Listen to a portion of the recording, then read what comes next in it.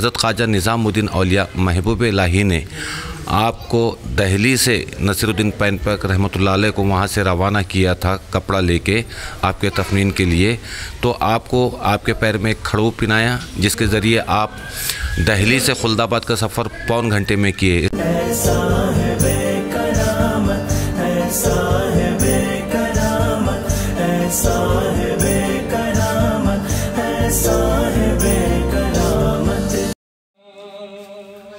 चल रहा दो जहाँ में अस्सलाम वालेकुम रहमतुल्लाहि वरकातहू यहाँ पे एक बुज़ुर्ग शख्सियत है, जिनका नाम हज़रत नसीरुद्दीन पौन पैक अलैह के नाम से मशहूर है, जो हज़रत ख्वाजा निज़ामुद्दीन औलिया महबूब इलाही के मुरीदों में से है।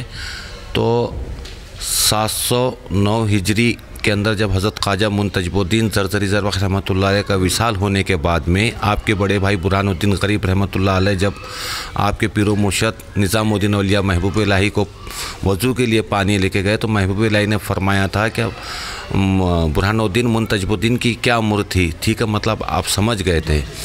वो होने के बाद में तो हज़रत ख्वाजा निज़ामुद्दीन औलिया महबूब इलाही ने आपको दहली से नसीरुद्दीन पैन पैक रहमतुल्लाह को वहाँ से रवाना किया था कपड़ा लेके आपके तफनीन के लिए।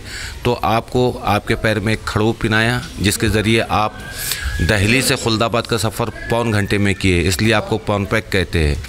अब पवन पवन के मायने हवा का सफ़र। आपने हवा में सफ़र करके यहाँ पे तशरीफ़ लेके आए थे और आप ही का ख़याम यहीं पे है।